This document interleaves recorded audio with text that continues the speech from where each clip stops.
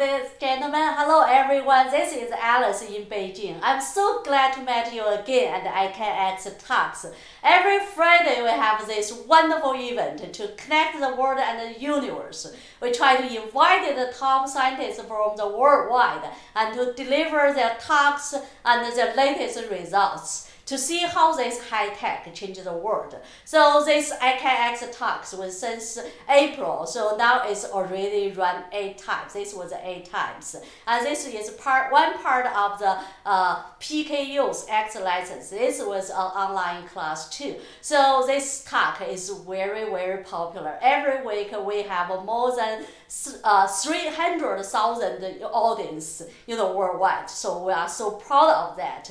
So if you don't know more about ICANX yet, please follow us on Twitter. Uh, please find the video replay on YouTube. And if you have some question suggestion, please take you know this ICANX online survey. So uh, today is a big day for ICANX talk. Today is also a big day for mine.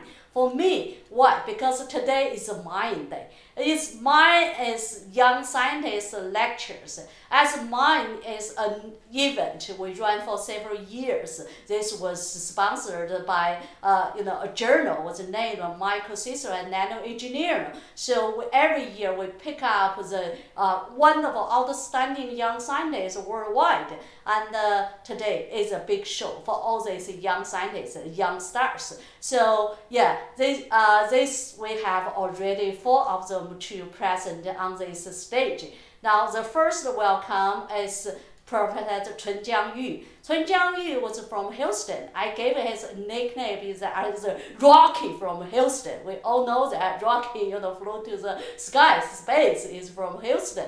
Uh, Cunjiang was like this. Professor Yu was really young, but he is quite famous. He grew up so fast, get a lot of, you know, nice uh, work and many, many recognized, you know, uh, technical uh, contributions in this area, especially in the uh, robot, uh, electronics. He established in his lab and his group in the last few years. He's get very well known in this world. So, Cunjiang, are you ready? Yeah.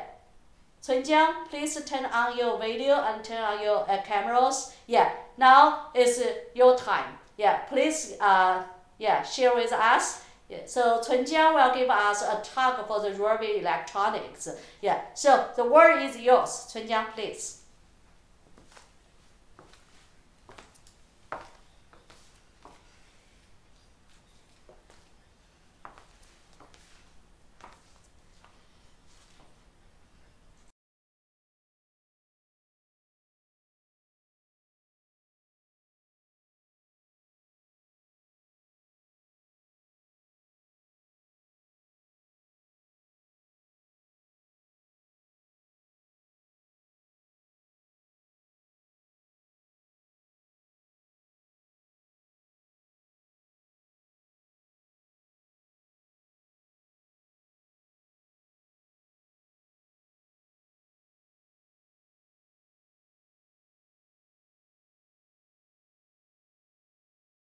Especially those challenges related or associated with health and joy of living. So in particular, we're being interested to creating uh, technologies or implementing uh, uh, devices that to understand the human body and also uh, biology and also to uh, provide remedy solutions. We are also interested to creating or implementing smartness and safety into robotics or machines. So we believe that human and robotics or machines will team together and the boundary between them will become very blurry in the future. So specifically, we're utilizing soft electronics to solving these great challenges. So on one hand, human is full of organs, tissues that are mechanically soft. While conventional electronics, like silicon wafer technologies, they are rigid. So to bridge electronics with human, future electronics need to be also mechanically soft, similar as human body. On the other hand, soft electronics can also provide machines or robotics certain capabilities or uh, functions to allow them interacting in and responding in the complex environment. So my group in the past few years really covered the fundamental and application aspect of soft electronics. So particularly, uh, you know, we're a device research group and we're designing and design new materials with tailored uh, properties for devices. And then we manufacture these materials. And of course, manufacturing is level manufacturing, manufacturing those materials, gearable manufacturing, and also manufacturing devices, te manufacturing technologies to allow us to build in the devices. Now, we utilize the materials and manufacturing technologies to creating devices for medical and for machines. So this is uh, generally what uh, my group has been covering. So uh, soft electronics is just an example that we have top-down research of solving the specific uh, application needs by seamlessly to merging biology or human body with future electronics. And we really come out with material solution and building devices to solving this great challenge. So to start with, so look at the silicon wafer technologies, conventional electronics. So instead of look at the electrical functions, but we look into the materials we're associated with for this uh, device, which includes conductors, conductor materials, dielectric material, and substrate of silicon wafer, for example. And uh, we look into the fundamental material properties uh, as a curve of strength. So we can see, you know, this metal is a ductile material, and also a lot of semiconductor materials or the dielectric materials, ceramics or inorganics, they are actually fairly brittle. So we can see none of these materials are behave like a piece of rubber. They're not So now, I know in the past or so, there's a emerging field we call the stretchable electronics. So now the electronics can be manufactured, but and these materials not stretchable.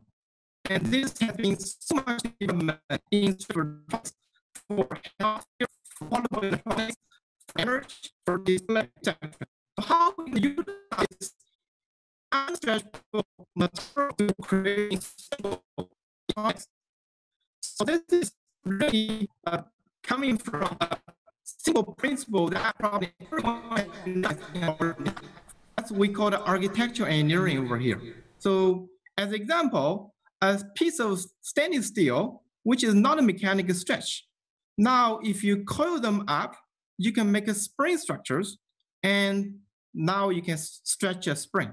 So you can see same material, but based on different architecture, we utilize this engineering concept, and by applying to our designs, we actually can create, for example, blend wrinkle structures by harnessing a ring film with uh, the elastic structure. So it's very beautiful that harness and we actually can create a very uniform waves depending on the place of the and also a difference between the models. So once we create these wrinkle structures, you apply mechanical stretch. And instead of directly fracture a rigid piece of material or fail those materials, but now actually you're changing or modeling these structures. So now you know how to create different types of stretchable electronics where the electronics are building built uh, built based on these rigid films. So it's very nice. Uh, we can create these out of plane uh, structures then we can making device stretchable. So this is talking about the direction. What about in plane? So in also open mesh structures. So now similarly, when you apply mechanical stretch, you're, op you're opening these meshes and instead of directly finish this material, but now you're changing the geometry to accommodate the mechanical stretch.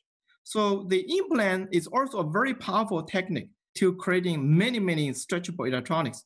And in the field of stretchable electronics, this architecture engineering has been really dominant to creating a lot of devices for many applications. But you know what I one thing I want to mention, especially uh, many people and many advances has been uh, really uh, work uh, has been uh, existing in this field, including my my group and also a lot of many pioneers. For example, John Rogers, Yonggang Huang has been creating this uh, technology out of plane in plane structures, and uh, this is out of plane uh, structure designs is also my PhD thesis. And later on, I work with John John Rogers and creating this in plane uh, structure designs for many, many stretchable electronic device development. So it's been very successful and it's been proven to be uh, uh, working very well. But one thing is when we look into the problem, especially when we uh, utilize these devices, try to merging with biology, especially for organs or tissues, problem comes. So for example, if we look at the existing stretchable electronics based on architectural engineering design, when we use our hand to stretching a spring structure or deform it, so we can feel the mechanical stretchability. But the mechanical stretchability is at a structure level or macroscopic level. So now, once we utilize this technology or architecture engineering to interface with organs, tissues. So for example, a heart over here. So heart is made of heart tissues with different cardiac cells. So you can see those organ tissues actually they mechanic deformable, but also those cells actually there are no rigid components involved.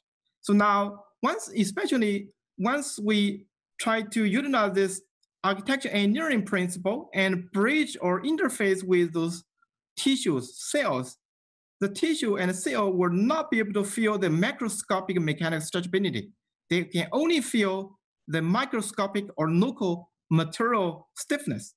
So this has become a challenge. So the question is, can we have a way to creating electronics that have mechanical stretchability at both macroscopic level and also microscopic level? So this is a, a challenging question to solve. So in the past few years, we really have been thinking and we try to creating a fundamentally different way of creating electronics, which we call the rubber electronics Rubber electronics is type of electronics that completely made out of rubber materials.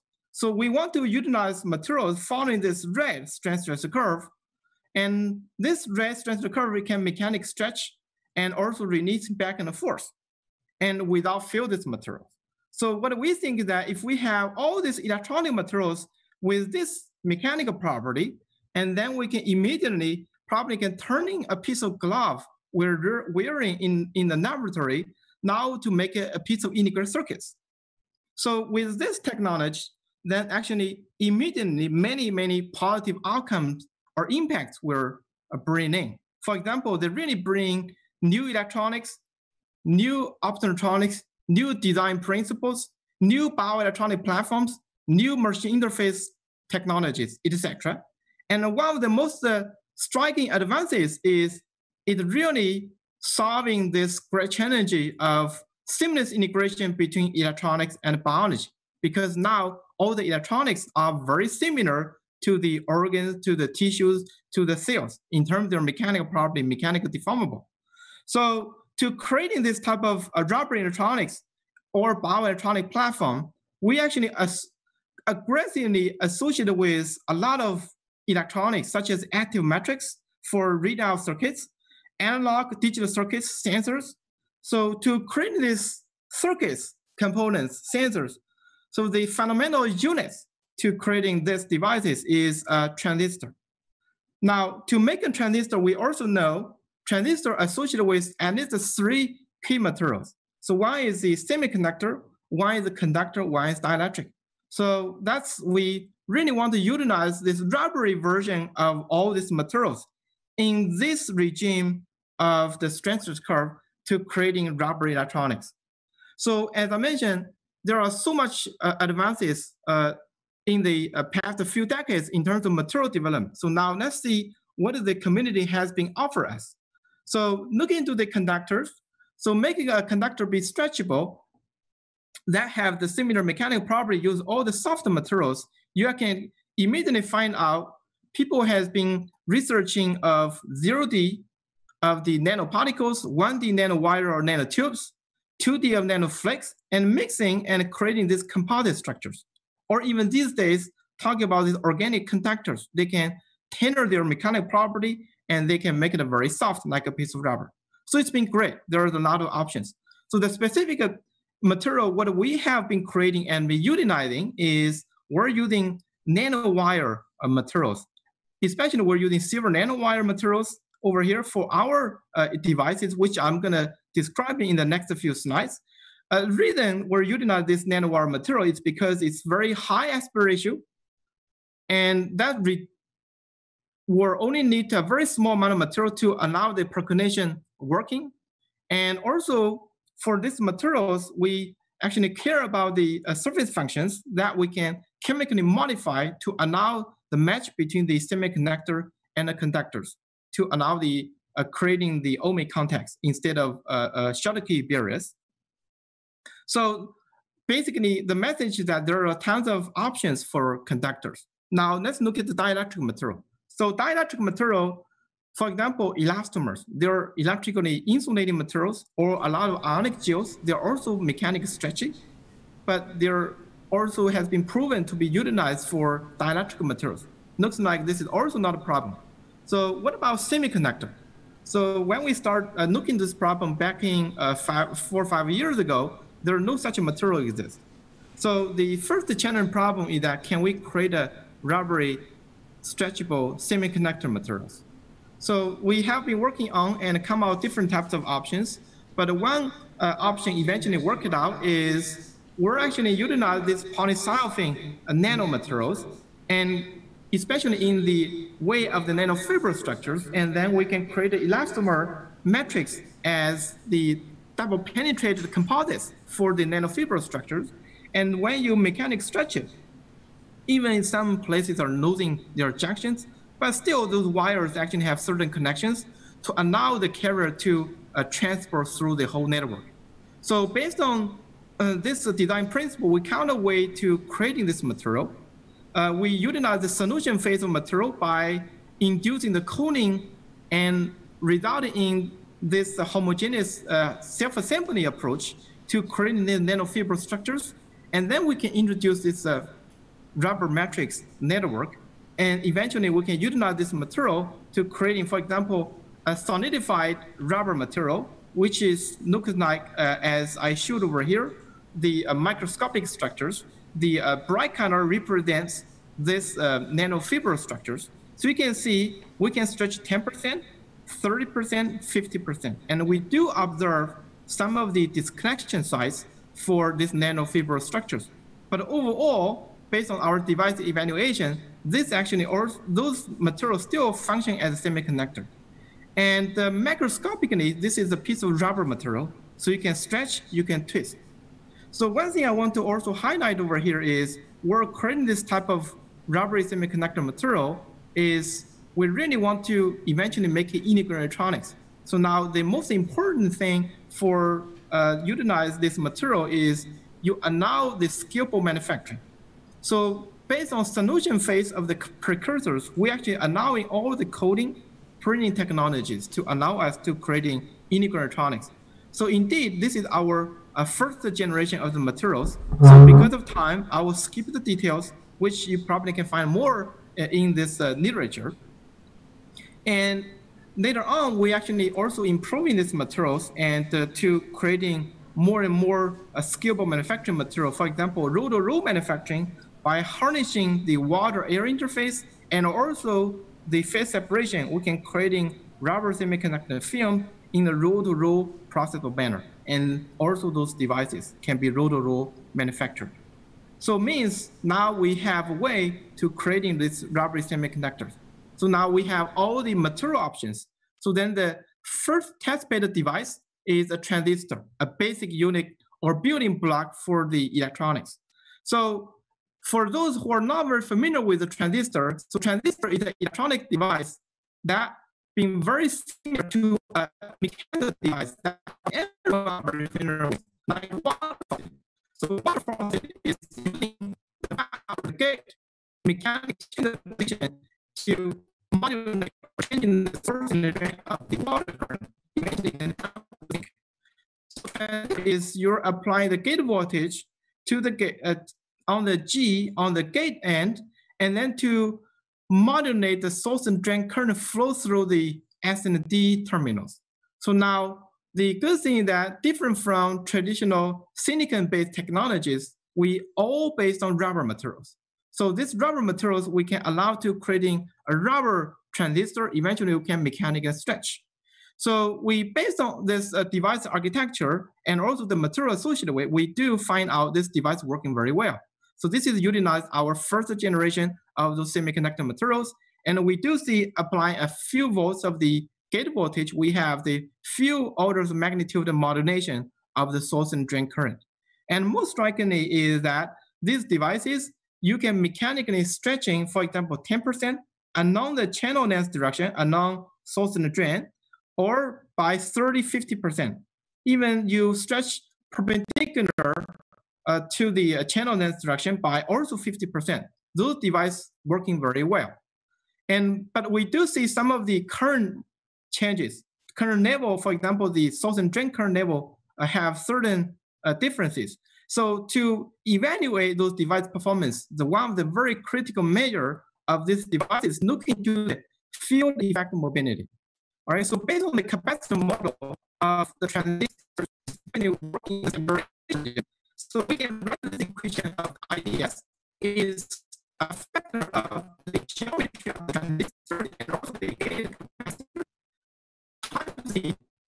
mobility, which is denotes the how fast the carriers move under a unified uh, uh, electrical field between the source and the drain, and also the gate voltage by uh, this uh, uh, second order. And we can rewrite this equation and instead of using the VG square, but now we actually can have the VG, which we plot in this uh, blue curve right here. And this blue curve represents the VG as a relationship to the uh, square root of IDS, which is very important because now we can have direct information to find out how the gate modulation of the IDS. But one thing also find out is if you look at this equation, and this equation, the square root term over here is actually the slope of this uh, square root IDS versus the uh, VG. So now, based on this uh, slope, we can calculate from the curve, we can also derive the field effect mobility. So based on this field effect mobility, we find out that this material actually, or this device, even after stretching by 50%, this device working very well as a transistor. And but we do see the mobility have the 40 to 50% of decrease, which is what we expected because once you mechanically stretching these nanofiber structures, and there are actually disconnection sites, and eventually uh, reduce the transport efficiency, thus the uh, field effect mobility decrease to somehow. So, and, uh, and also I want to mention here, this is our first generation materials. So the mobility is in the range of one, one centimeter square per volt seconds. It's good, but it's not great for integrated electronics. Eventually we want to making, converting a, a piece of rubber to integrated circuits. So now we want the transistor working very high performance. So now the caliber is how can you make the device being uh, very high performance or creating this uh, high mobility materials. So indeed, this is our second generation material, which we call the high mobility rubber semiconductors. Instead of this two material system, but now we're incorporating the third material. The third material we incorporated specifically over here is we're utilize metallic carbon nanotube and also has a very low aspect ratio. This is on purpose because we want this um, a very low aspect ratio does not short the channel of the transistors. And also we utilize this metallic carbon nanotube because the working function match very well of the HOMO level of the polysilicon nano fiber to allow the carrier to easily flow through. So we come out the material fabrication and also optimization pro approach based on looking to the drain current and also the off ratio, looking to the mobility. The details, because of time, I will skip, but you can find out in, in the, uh, uh, in the uh, reference listed below over here. And we find out that if you put a 0.5 weight percent of metallic carbon in the composites, you actually maximize this material with the fairly high mobility and also high off ratio. So especially we boost the mobility by from one to 10 by introducing this metallic carbon nanotube. So also we're not just making one transistor, but we're making integrated array of devices. So this is a eight by eight array or based on the printing process. And this is the mobility map, fairly uniform uh, device mobility. And everything is made of piece of rubber, so you can mechanically stretching, you know, bending, uh, or kind of mechanic deformation. The device does not fail after many, many cycles of the operation. So we have the uh, technology and the materials to creating this uh, rubbery transistor electronics. But if you look at our computer and uh, also the integrated circuit chips, so they are actually working digitized or talking about zero one operations. So we also are uh, creating a logic gates, which for example, you have the inverter input one, you generate zero, and also other gates like NAND gates and NOR gates. So the message here I want to tell you is based on our rubbery transistor technologies, and we can create a fully rubbery logic gates. And those logic gates, even under mechanical stretching, they can preserve their logic functions. So the details also can find out in the paper over here. So with this uh, uh, logic gates, of course, it's not a fully very hierarchy complicated uh, integrated circuits yet. That's something we still been working on. Hopefully we're gonna come out integration level up to thousands, even more. So now we have those uh, transistor and uh, integrated electronic technologies. So some of the things immediately we think this uh, technology can be really helping solving the challenge is, for example, uh, smart skin. So smart skin is a great technology, but the smart skin, especially when the sensing nodes significantly increase, then you're facing a lot of challenges. So for example, if you have uh, tens, hundreds, or even thousands of the uh, uh, channels or sensing nodes, so the crosstalk, the wiring is really become a problem. And uh, what we have been thinking is, can we create a smart skin and utilize our transistor active matrix technologies to solve this challenge? Because this technology is working similar like a display we're being utilizing. And particularly we're uh, creating a tactile sensor skin based on fully rubber technology, utilize the actimetrics of the electronics. So this is the device uh, architecture I want to show here. And you can see the sensor component over here is a pressure sensitive rubber and it's mechanic deformable, a piece of rubber. And also the electronics part is all based on rubber electronics.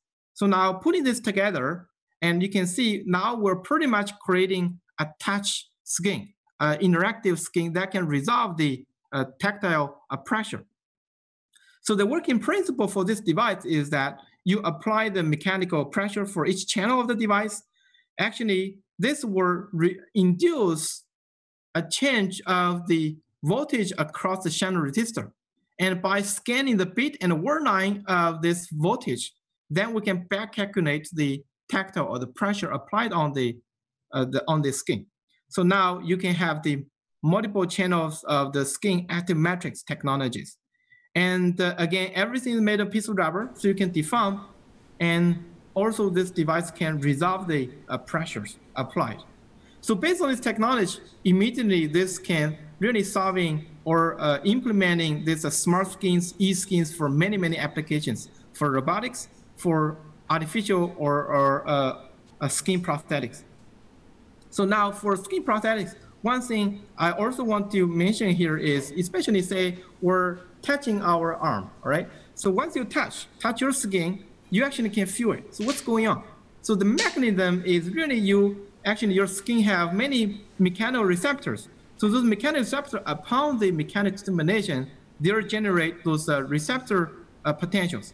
Those re receptor potentials actually will activate those biological synapses and uh, transmits through the nerve fibers and generate those post-synaptic potentials and eventually to your brain. So now your brain can feel it. So one attribute I want to also mention for this synapse or neuron functions is this actually also those neuron functions, uh, those neuron synapses are mechanic deformable. Even those uh, present uh, in uh, exist in the our tissues in the uh, spinal cord, there can be mechanical stretch by more than 30 or even more, 30% or more. So I can use one extreme case of earthworm. So earthworm, they can extend their body by a few times. Their uh, synapse, neuron synapse also can allow this mecha large mechanical deformation. So now the question is that can we create a very elastic neuron functions and in built into our skin uh, devices? So this, what we, the core technology behind it is we creating uh, elastic synaptic devices that allow the neuron function, memory capabilities to exist in these uh, devices. So because of time, I will skip the details, but uh, what I want to emphasize here is based on uh, similar like a transistor tech, uh, architectures, we can creating uh, elastic stretchable neuron neurologically synaptic devices, and the after mechanical stretching, they still can preserve this uh, memory effect, uh, these uh, neuron functions. And with this technology, we actually can creating a smart skin. So for example, our smart skin like our behave like our natural skin. The skin we build in this uh, rubber elastic mechanoreceptors. So now once we mechanically press, interacting with our skin, so we generate those the uh, potentials those potential actually will trigger these uh, synaptic transistors, and eventually they're going to generate arrays depending on number of sensing nodes you have or the mechanoreceptor you're interacting. So now you generate arrays of post-synaptic uh, current, or you resolving this post uh, post-synaptic potential.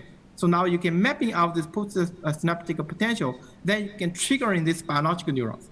So this is a device you know, we have those uh, artificial uh, synaptic uh, transistor devices and also with the mechanoreceptor units or based on rubber devices. And we can resolving this uh, post-synaptic potential. And also we have been working really utilize this post-synaptic potential to triggering these biological neurons. So that way, eventually you have the uh, skin prosthetic, you're interacting with the artificial skin, your brain can feel it. So this is something we have been uh, working. And with this technology, it's also, uh, we feel like probably also changed the way how the robotics behaves. Traditionally, robotics, the operation or based on the control or the command by the operator. So now what we have been thinking is eventually those robotics become very smart. So we have been really uh, asking ourselves, can we create in robotics that allow the bodies to think like our human or animals, or even they have a mindset like us. So how to uh, achieve these capabilities? So it looks like with the neurological function integrated skins, we can implement this soft neural robots. Of course, this is a first strike along this direction. We really have been implementing these uh, neurological uh, neural robots with uh, smart skin technologies and use the neural decoded signal based on the robotic memory. And we can actually give the command by interacting uh, without giving any command by but the robotics once interacting with external environment they can memorize and they can uh, perform their for example cloning motions so this is uh, one example of based on the interaction like a tapping modes of the specific uh, neurological decoded signals then they can give the they can allow the robot to automatically to walking or changing uh, angles or some other motion behaviors. So the detail of the neural de uh, decoded signals, this also be appear in the literature uh, in the uh, end of the slides. So I already show a couple of examples of creating these engineering devices using our rubbery electronic technologies. So now I also, you know, going back because we really want to uh, seamless integration with the human body with uh, the electronics. So this is one example which we called a rubbery a bioelectronics, utilize the epicardial patch as example. So this epicardial patch, we actually allow to creating a rubbery bioelectronics patch and sitting on a beating heart. And also we can allow special temporal mapping of the electrocardiogram signals. And uh, this is real-time monitoring uh, of this uh, R peak over here. And the cardiologists become very excited because the device is so soft, they can concurrently deform with the heart, and also they can simultaneously to mapping out the ECG signals. And not just the mapping out the signals, but also give the detailed information of how the signal propagating along different directions to identify the arrhythmia or tracking the arrhythmia behaviors. So now we also, you know, for this uh, rubbery bioelectronic patch, we also integrate some other electronic sensing functions and even therapeutic devices to creating this whole functional bioelectronic patch with for a heart behavior monitoring, pacing, and also therapeutic uh, capabilities. So with that, I think uh, my time is pretty much over there, and I would like to uh, quickly summarize my talk by providing a roadmap. So this roadmap is really placed in contact with what a last century has been strikingly advanced the whole world, which talk about uh, back in the 40s uh, with under, uh, realize the importance of piece of the black rock silicon now need to the for, uh, late 40s of creating a nonlinear electronic device called a transistor. So now later on, early 60s, creating this circuit devices from Texas Instrument, and then later on have the large scale integration or very large, even ultra large uh, scale, uh, large, ultra large scale integration. So uh, for our rubber electronics, so over the few years, we have been developing rubber semiconductor materials and uh, keep improving this material to allow us to give a very uh, high performance of those electronics, transistors, and to uh, creating or allow this transistor device working, and also we creating uh, circuit functions for the rubber electronics. And of course, we also been uh, working on the integrated electronics. The level of integration is not comparable with the VLSI yet, but this is some of the direction we have been working on. But simultaneously, we also have been immediately utilize our rubber electronics for a lot of applications, applications for human and for machines. So with that, I would like to stop here, but I would like to acknowledge the work being done by my, my group. And especially I want to highlight uh, here uh, two alumni from my group, Jin Kim and also Kyoseung uh, Sim. So they're uh, now professors some, uh, in Korea. And also a few other people I highlighted here they're taking the lead of the rubber electronics in my uh, group. And uh, the animal experiment has been really uh, been uh, uh, uh, working with fantastic collaborators at the Baylor College of Medicine of Dr. Taylor and also University of Chicago of Dr. O. And finally, I would like to acknowledge the funding supporter to allow us to carry out this work. And thank you very much. Okay, great. Cunjiang, as always, your talk is fantastic. So yeah, there are a few questions was come out. So first is uh, yeah, wonderful talk, Professor Yu. Yeah, uh, is want to ask you for the questions for the long-term stability of rubber electronics and uh, yeah, how about the temperature and uh, you know humidity the effect on these materials? Clear? This is a great question. So the uh, the uh, long-term stability, it is, so it's a very challenging problem. So we have been really working on this problem. So I can tell you, uh, based on our so far the experiment results, we didn't do any aging tests, but we have been creating uh, this uh, transistor device and stay there for more than two years. It's still working very well. And there's a reason behind it why this material system or the device is more stable. It's because the material actually compared with pristine organic materials now we have this rubber matrix is really helping actually preventing this uh, interaction with the moisture environment or other things. So this is uh, you know a good thing about it. And temperature uh, do actually change this uh, carrier uh, concentration like the silicon technologies. Uh, this device is working fairly well uh, under about 100 degree, but over 100 degree, you're going to cause in problem. Material going to degrade. Okay, great. So the second question is, uh, can you compare your rubber electronics with silicon or the some latest results from the silicon uh, uh, silicon uh, carbon nanotube based electronics or other soft electronics? Can you compare with your technology with that? Sure, this is a great question. Uh, so a silicon technology, so single crystal silicon has a mobility of 1500 centimeters square per volt seconds.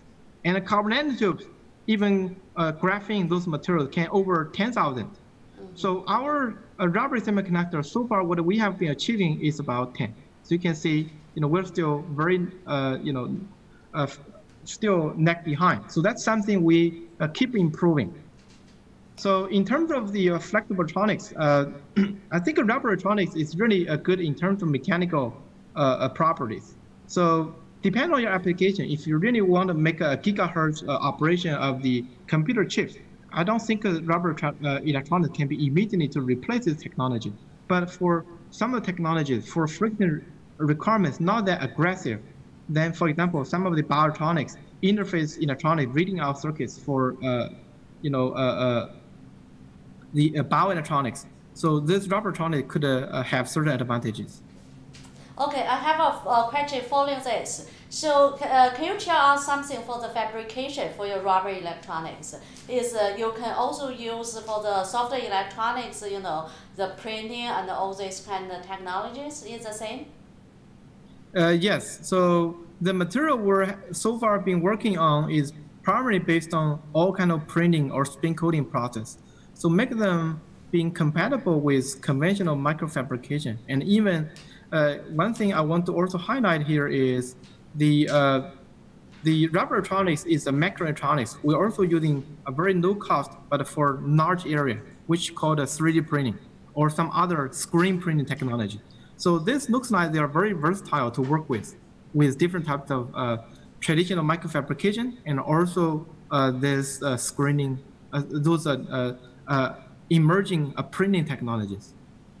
Okay, uh, here is another question from Professor Yu. Uh, how about the adaptability between different materials and different layers? I think for you know several layers, so the adapt uh, adaptability. So uh, this material actually it's a very thin material, so they actually can uh, adapt very well in terms of conformal coating. So yeah, so far we didn't have a very deep trenches involved. So it, it looks like it's okay. But I think it's if it's very deep trenches, we have to be looking very careful. Okay, great. So the last question is for the you know, roadmap. You print, uh, give the roadmap for your rubber electronics. So here is what's the big advantage for this technology? What's the target market? So this is also a, a great question. I think, uh, uh, you know, the market could be really from different sector of the industry. For example, the interactive uh, displays, uh, touch panels, uh, the, uh, you know, smart suits, and even a lot of bioelectronics. I think the application is, is, is very broad. Okay, great, Cunjiang. Yeah. Okay, thank you very much, and thank you for your wonderful talk, for your great, you know, question answers. Yeah, okay, yeah, I will give you a certification as usual. Uh, because you know on ICANX talks we invited the uh, most famous professor in the field. Today is really you know special. We want to you know deliver this certification to Cunjiang. Uh, can you switch back to Cunjiang? Yeah, Cunjiang. Yeah. So this is for you. The certification for Connect the World and Universe in ICANX talks. Thank you so much. Thank you.